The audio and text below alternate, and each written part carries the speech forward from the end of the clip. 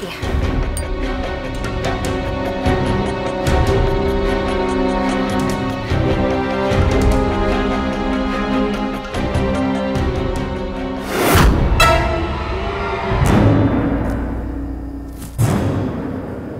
Aduh,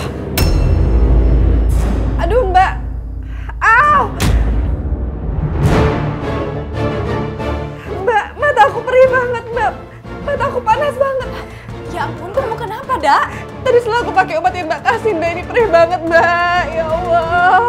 Tapi biasanya Mbak pakai tetes mata ini nggak terjadi apa-apa kok. Justru tetes mata ini bagus banget.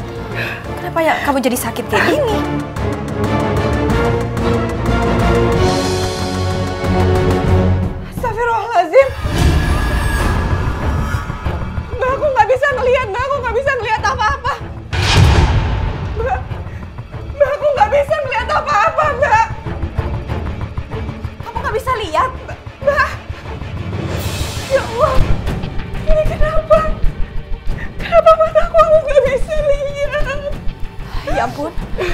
Serius kamu nggak bisa ngelihat apa-apa? Kamu nggak bisa ngelihat apa-apa, Mbak.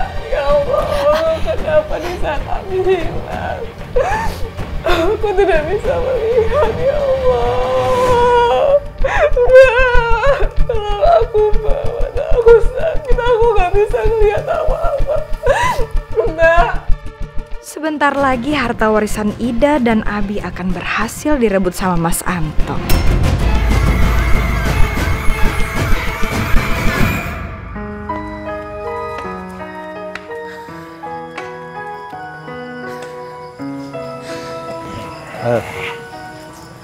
Gitu aja.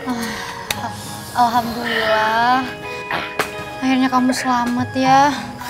Em, semuanya baik-baik aja kan? Tenang, Mil. Tenang aja, Mili.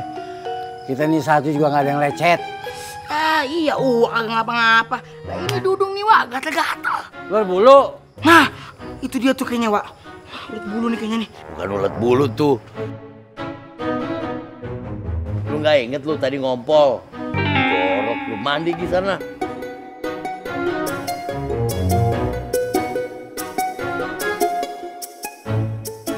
Eh, kek, makasih ya, Kek, udah diingetin. Bukan ngingetin. Kasihan kan yang lain tuh pada kebauan sama lu. Hmm, pantesan dari tadi Kamili nyium bau pesing. Ternyata itu kamu dong. Udah sana bersih-bersih dulu, Ki. Udah gak usah dibahas. Bikin tensin aja. Mbak, Mbak, mata aku benar-benar nggak bisa ngelihat, Mbak. Iya iya iya. Mbak di sini. Ya udah kamu istirahat dulu ya. Mbak panggilin dokter, oke? Ya udah. Ayo sini, Mbak bantu. Ayo pelan-pelan, pelan-pelan. Ya kamu istirahat sini dulu ya. Mbak panggilin dokter dulu ya.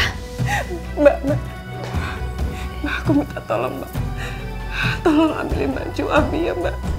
Ah, ada di dalam lemari. Iya, tunggu sebentar ya.